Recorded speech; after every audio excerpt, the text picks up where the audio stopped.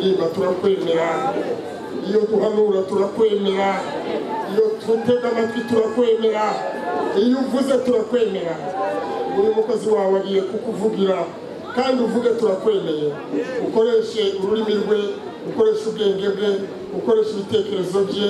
Amaze umuzuza umwuka wera abari hano hose bose bakwemere kuko ari yesu uvuze. Uwo we wese atahana umugabane mu mutima we ati yesu yavuze. Ushimwe ko tukwemeye kuvuga kubwa yesu umwami wacu. Amen. Mu izina rya yesu umwami wacu. Nagira ngo muri dusome ijambo riri mu butumwa bwiza bwa yesu bwanditswe na matayo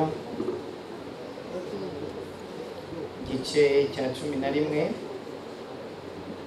Tugasoma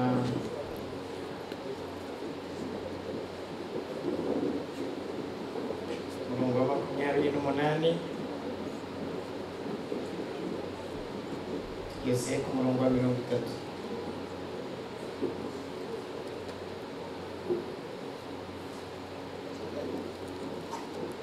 Bwiza bwa yesu bwanditswe na matayo igice cya cumi na rimwe dusome duhereye ku murongo wa makumyabiri n'umunani.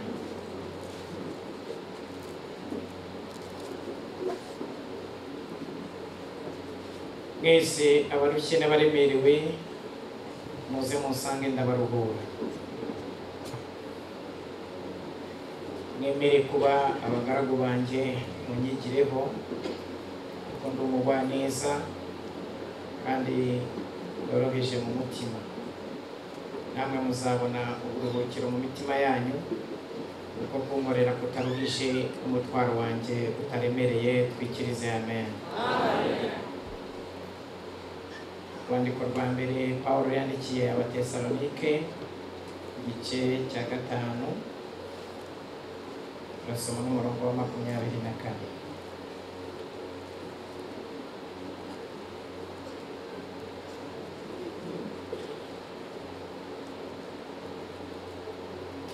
Urwandiko rwa mbere paul yandikiye abatesalonike igice cya gatanu turasoma n'uyu murongo wa makumyabiri na kane wonyine aravuga ngo ibahamagara niyo kwizera no kubikora izabikora tuvuge amen. Ibahamagara niyo kwizera. Ah, iki giterane cyateguwe kugira ngo iyi korari yehova yire ndetse na korari amahoro bafatanije n'abakunzi ba korari bose n'inshuti n'iri torero rya remera. Twongere twibutse abantu ko hari imana ihamagara. Kandi abaririmbyi baririmbye ngo yaraduhamagaye tugira gute? Turazi nagira ngo mbibutse ko igihamagara n'abandi. Imana iracyahamagara n'abandi. Ntabwo imana yarangije iracyahamagara n'abandi. Eh, mu kwinjira muri iyi nyigisho hari amahame nkane ngiye kuba- kubabwira. Icya mbere ni uko imana ihamagara abaswa ariko ntijya ikoresha abaswa abihamagaye irabigisha iryo ni ihame rya mbere ihamagara ariko ntijya ikoresha abaswa muyibaze uwihamagaye iramwigisha. N'iyo afite utubazo mu mutwe iramukosora akajya ku murongo. Ariko iramukosora ikamushyira ku murongo. Ariko ishimwe ko ihamagara abaswa baba ari abaswa badasobanutse ikaba- ikabasobanura ihame rya kabiri. Imana ihamagara indushyi. Ihamagara n'abantu baremerewe ariko ntijya ikoresha indushyi. Muyibaze. Iyo uguhamagaye urushyi irabanza ikakuruhura muyihe amashyi ntibibahera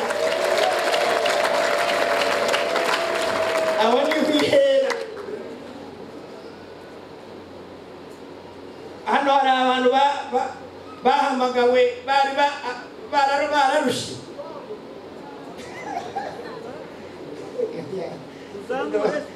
Mu- muzamure ntacyo ndebe ndababona hano hari aba- hari abanywanyi banjye ndimo mbona hariya baba bati oyoyoyo hari abantu bari barushye bikomeye cyane hari na mwene data uririmbye mu kanya. Aravuga ngo ngo hari umunsi umwe ngo inyoni ngo yazanye umwumba ari umwumbati ni iki ni Eh, ni inyoni ni imbeba imbeba bubeba ni imbeba nageze ngo ni inyoni yari ituranye na resitora banki ntiyavuze niba yarahuriye cyakora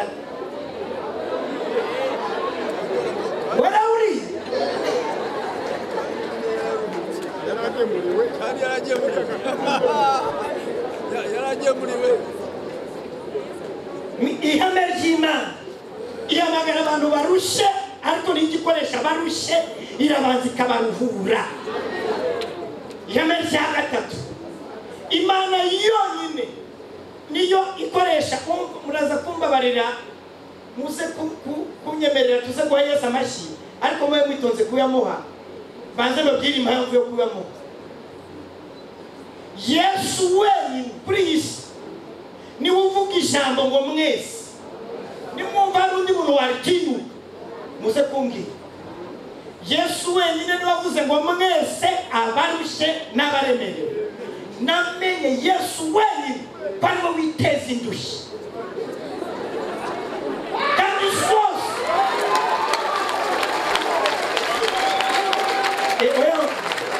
ntabwo nari nababwira ngo mwimuke ariko nawe yayakiriye. None se ko yoroheje mu mutima. Yesu ntakomeza ibintu aroroshye numvise amatangazo barimo batanga akazi. Batangira bagira ngo urimo.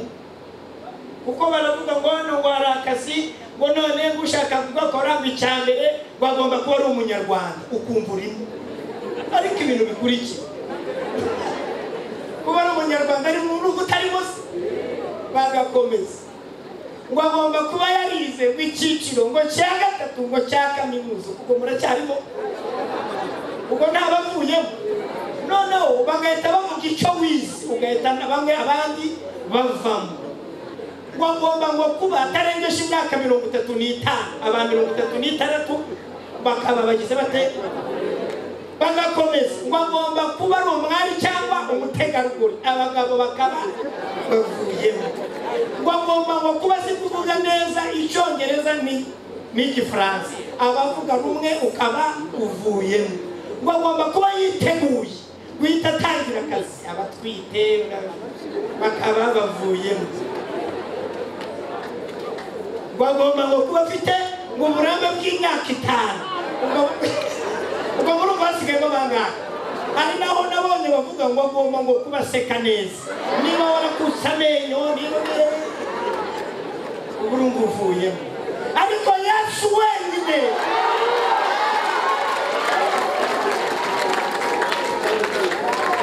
mwebwe muri kumuha amashyi ntarabivuga yesu wenyine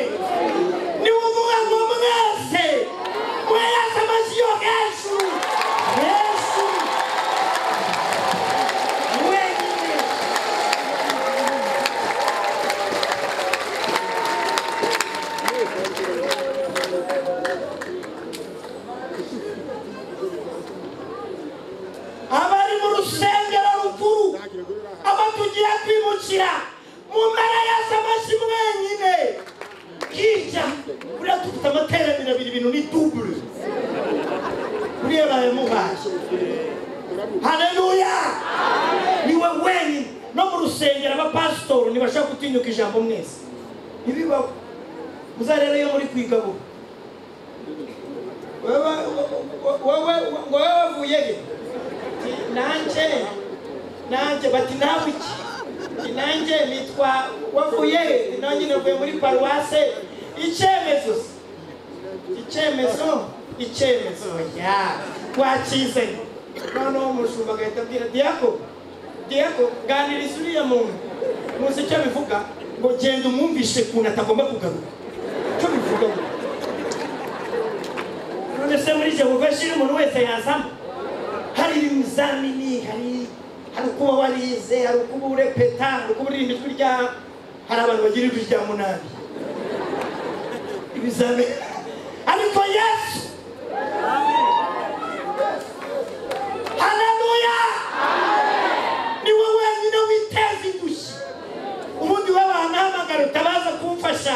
Abangirira neza baza kuntabara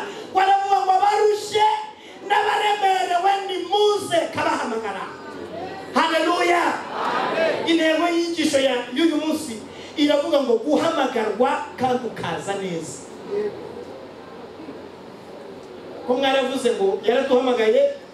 Ngo kandi rwose ndashaka kubabwira abantu ba- baje bitambitse. Hari abantu bataje neza. Hari n'abataje buzuye. Hari abantu bataje neza.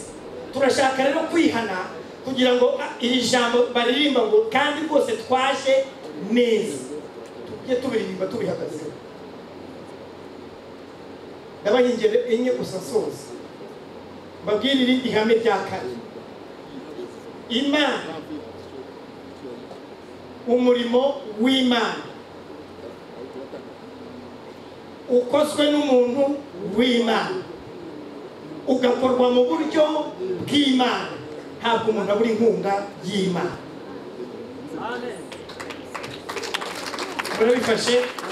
Ibyo ni ihame umurimo w'imana ukozwe n'umuntu w'imana ugakorwa mu buryo bw'imana ntabwo umuntu abura inkunga y'imana ababyemera muvuge amen.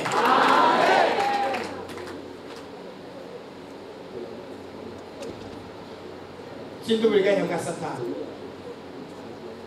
Guhamagarwa ukaza nabi. Guhamagarwa ntuze neza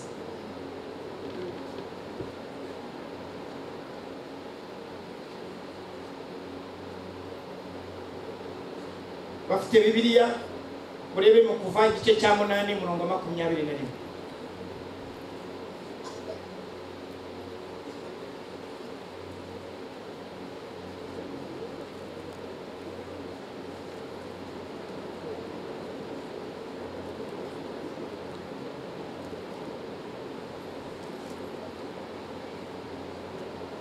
Twihute. Aravuga ngo ahamagaza mose na aroni. Arababwira ati nimugende mutambire imana yanyu ibitambo muri iki gihugu.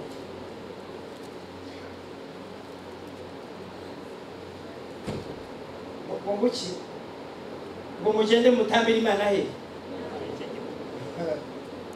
gukorera gukorera imana ukiri mu butaka bwa satani ukiri uwa satani.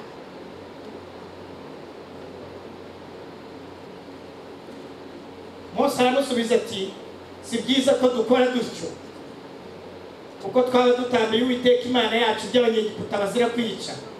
Twatambira mu maso y'abanyegiputa ibyo bazira kwica ntibatwicisha amabuye.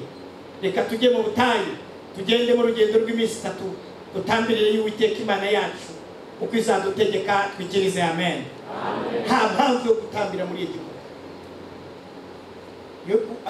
Aho ngaho mwahishurirwe imana kuguhamagara ntugende ikaguhamagara ntu- ntuhaguruke.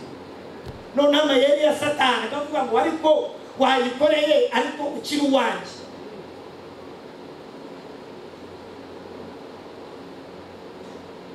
Aya mafite urugero rw'umugabo umwe witwa witwa witwa gehazi.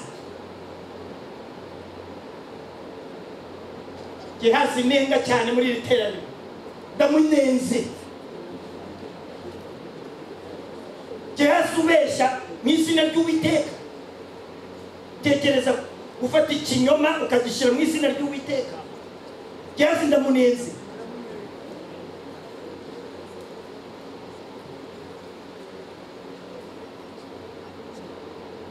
Antera n'umubabaro gehazi murebe ibintu bye. Munkurikire gusa mfite imirongo hano ushaka kubabwira. igitabo cya kabiri cy'abami igice cya gatanu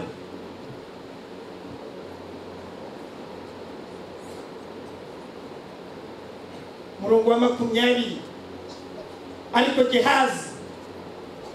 Umugaragu wa elisa muntu w'imana aribwira ati ko databuja yagiriye nama uwo musiriya ubuntu ntiyakira ituro yamutuye ndahiye uwiteka imana nzima. umva barahiye ati umuntu ajya kubeshya akabanza akarahira imana ngo ndahiye uwiteka imana nzima. Ndiruka. Mufate ngira icyo mwiyakira wagiye kugira icyo umwiyakira ariko ntujyane imana muri ayo mateshwa yawe warabanza ashyira imana imbere arangije ajya kubeshya kandi abeshyira na elisa ngo abonye abashyitsi babiri. Kandi ntabwo yari abo ngo arantumi arabeshya kandi mutekereze uwo babana. Abana na elisa ufite imana. Elisa imana yaramuhamagaye araza. Gehazi we nta hantu ye haba n'intambwe nini ahubwo arabeshya mu izina ry'uwiteka. Kandi yitwa ko abana n'umuntu w'imana.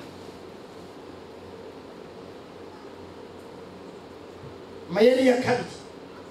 Niba mushaka kuza neza ubwo bivuze iki? Murahamagarwa ariko muve mu isi muve muri egiputa. Bibiriya iravuga ngo iyo umuntu ari muri kristo yesu aba ari iki? Bya kera byose biba bigabanutse. Biba bishize ntabwo biba bigabanutse. Kamere rya kabiri. Murebe mu kuva umunani makumyabiri na kane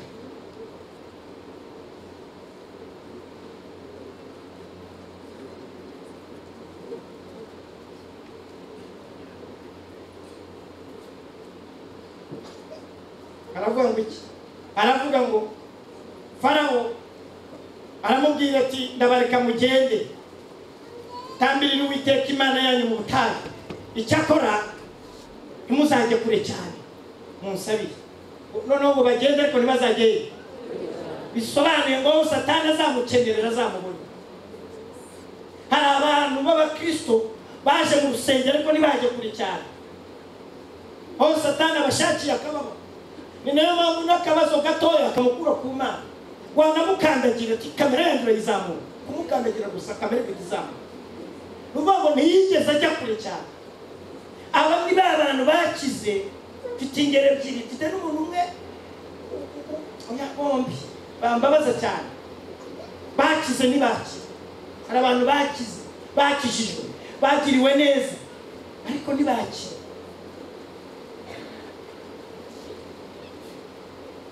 kamubereke muramfasha namwe kumugaya. Uwo bamwita namani igitabo cya kabiri cy'abami igice cya gatanu. Umurongo wa cumi n'umunani.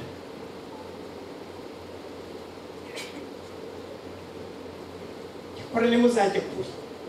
None se nibatajya kure bajye hehe Eh? bajye hafi aho baboneye bajya bakoresha. Hmm? Ngaho murebe murebe igitabo cya kabiri cy'abami igice cya gatanu umurongo cumi n'umunani uzi ko havuga aravuga ngo ngo ariko uwiteka ajya ababarira umugaragu we uyu muhango databuja iyo agiye mu ngoro ya rimuni kuyiramya yegamye ku kuboko kwanjye ngo maze nkunama mu ngoro ya rimuni iyo nunamye muri iyo ngoro ya rimuni uwiteka ajya ababarira umugaragu we munyumvire gukora icyaha oya gusaba imbabazi witegura ko n'icyaha uzagikora. Uyu ni namani arakize arakize ariko ntiyakizwa. Hari abantu bakize ariko ntibakishe yari amaze kuva muri muri yorodani. Umubiri we ubaye nk'uw'agahinja bisobanuye iki? Bisobanuye ko yamuhabaga guhita acukubiri na rimuni rimoni? Ariko ati rero nubwo nkize hari ikintu njya negamira databuze yagiye kugisenga akoresha ukuboko kwanjye ubwo rero imana ibyo ngibyo tubirangize njye na yo imenye ko nzabikora. Bimenye ko njyewe rwose ku ibintu byo- byo gukizwa cyane ntabishobora rwose mana tubyumvikane ndakijijwe ariko ibi ngibi nzabikora. Uwo nguwo ni umuntu utaragize kure.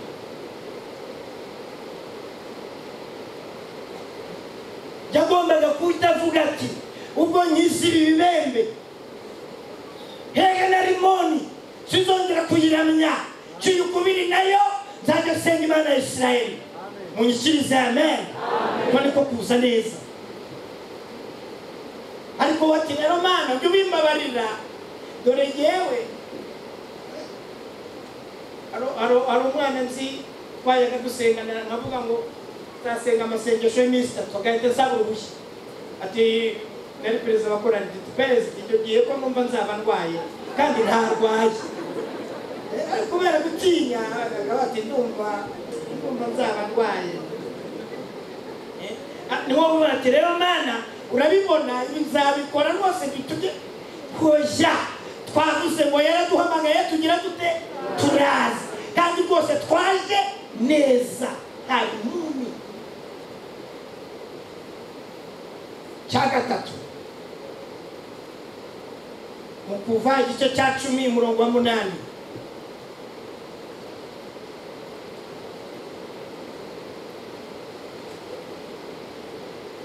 Muze kwisuzuma niba mwaraje neza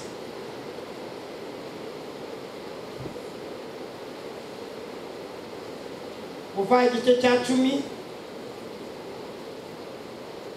umurongo wa munani uravuga ngo iki aravuga ngo bagarura mose na roni imbere ya farawo arababwira ati mugende mukorere uwiteka imana yanyu. Ariko hazagenda abantu ki mose aramusubiza ati tuzajyana n'abakiri bato n'abashaje abahungu bacu n'abakobwa bacu tujyane n'imikumbi yacu n'amashyo yacu kuko dukwiriye kuziririza uwiteka umunsi mukuru. Arababwira ati uko nabifuriza ko uwiteka abana namwe nuko nabareka mukagenda mujyanye abana banyu bato mwirinde. Kuko ibyo mugambiriye ari mwumve amayeri ngo ari bibi ngo kujyana abana bato ni bibi. Aje wenyine abana bawe barasigaye. Ndashaka kubabaza mwarahamagawe mwese n'umuryango wawe wose n'abana bawe. Ko farawo hari igihe avuga ati wowe genda ariko abana basigire ubu mwarahagurutse n'abana baraje. N'abana banyu ni abarokore nabo barakijijwe cyangwa uba wamusize avuga ngo njyewe ngiye mu gitaramo ubwo abana n'abana nyine. Abana ntibagomba gusigara. Mu ndebe mu gihe yehova niba mwarahamagawe mukaza neza uzakora n'urutonde n'abana banyu. Turashaka gukora korari y'abana banyu. Abana nabo bagomba kuza. Kandi mwarabyaye harimo n'abandi bagiye kubyara. Harimo n'abatwite. Ubyara umwana umenya ko ari umujehova jiri noneho tujye dukoresha jiniyoro y'aba bana. Abo bana bose baze barepete tuzakora igiterane tuze cy'abana banyu. Kariya kana ka shama kayoka kuvuka kwa rizi vuba gafata ikorasi. Karirimba. Noneho se yigisha ijambo ry'imana. Nyina asengera abakiza. Haleluya nuko gahunda zimeze Eh. abana banyu baze niko kuza neza kuko abana ba eri nta n'umwe wagiye kandi abo bana hofune na fenehasi bibiravuga ngo bari ibigoryi tekereza umwana w'umutambyi akitwa ikigoryi kuko basambaniraga mu rusengero. Basambanyaga abagore baza baje gukora isuku mu rusengero bagahita babafatiraho. Abana b'abatambyi musengera ingo zanyu imana irashaka ko muhamagarwa n'abana banyu ntibasigare. Munyikirize amena abana ntibasigare. Niko kuza neza. Kandi umuntu wese uri muri iki giterane mu kanya wamuvunye agusengeshe uze gusengera abana bawe. Ubavuge mu izina. Umugore wawe umuvuge mu izina. Ntabwo ugomba kuririmba. Ahangaha kandi usize ibintu bisiritse inyuma iyo ngiyo. N'abana bawe barafashwe. No tubahereza imana. Munyikirize amena niko guhamagarwa. Ntabwo ushobora kuvuga ngo gakiza nagaha umwana wanjye. Ariko jyewe nakwigisha umwana wanjye inzira y'imana. Mfite inshingano zo kwigisha umwana wanjye gusenga. Mfatanije n'umugore wanjye. Dufite inshingano yo kuyobora abana bacu mu nzira y'agakiza. No gusoma bibiliya ukamenya kuyubaha ejo bundi niyo bagiye kurya. Narababwiye nti nta kurya udasenze umwana wanjye w'umuhungu aracikwa arya adasenze. Ndamufata. Ni kuriya sha. Tuwasenze. He ni umuhatari rero. Ubwo none si ubwo papa ngo mbigenze ubwo noneho mbicire ubwo noneho ubwo noneho mbicire tuze gukomerezaho. Shaka uko wabimize ntacyo nibyo bimire ariko noneho ubwo bya kabiri urabisenga kumva ituru ya mbere yarancitse none mbicire rero mbicire ko nibura kakaba karimo rwirangara kuko satane mayeri ye ni ukuza wenyine hano. Ukaririmba ariko abana basigaye. Dusenge duhagurukane n'abana bacu mose yavuze ati tuzajyana n'abana bacu bato. Tujyane n'abakobwa. Urubyiruko ruri aha munyiyereka abasore n'abakobwa.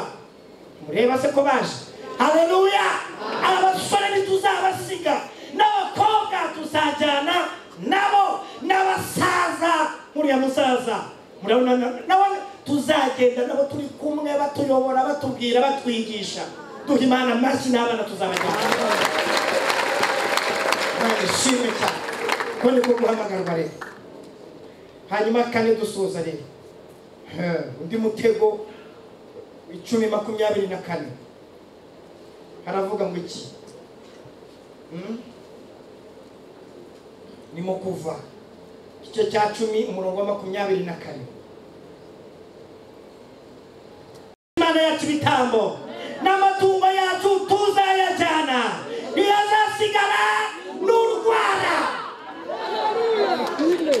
haleluya murashaka guhamagarwa mukaza neza. Nawe muhaguruke. Muhaguruke ndagiye gusenga. Muhaguruke mwese. Kuza neza numva hano u rwanda wowe ubwawe n'ibyo utunze n'abana bawe nta na kimwe. Ibyo ntunze nanjye ubwanjye ni iby'uwo mucunguzi.